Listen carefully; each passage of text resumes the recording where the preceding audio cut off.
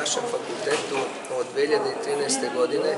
na predmetu adaptirano fizičko vežbanje radimo sa decom sa smetnjama u razvoju sa različitim oblicima invaliditeta, tako što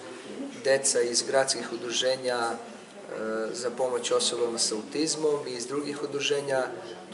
dovode decu kod nas na vežbe i naši studenti imaju praktičnu nastavu. U tom smislu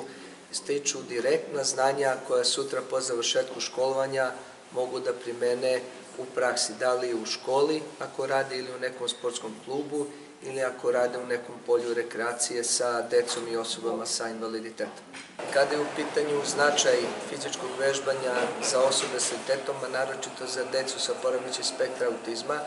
on je više struk i nije samo dokazan u praksi, već i kroz naučne istraživanja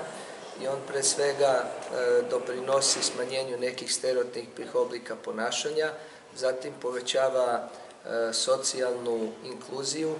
e, socijalnu pristupačnost, naročito ako se vežbe izvode zajedno sa decom tipičnog razvoja, zatim pozitivno utiče na njihovu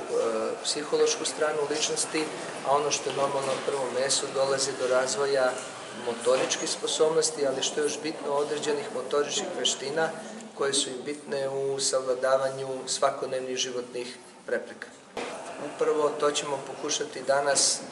da objasnimo koje su to metode ili načini kako možete dete sa porećem i spektra autizma da privolite da sledi vaše zadatke, odnosno da izvodi potrebne zadatke kako bi savladalo određeni motorički zadatak. Tu zavisi od mnogo faktora, zavisi od stepena funkcionalnosti deteta, ali zavisi od toga koliko je nastav fizičko spitanja, trener i svako drugi ko radi sa decom sa porodičnim spektra autiza spreman da uloži u sebe da bi uspeo da ih privoli da izvode određene zadatke koji su korisni za njih.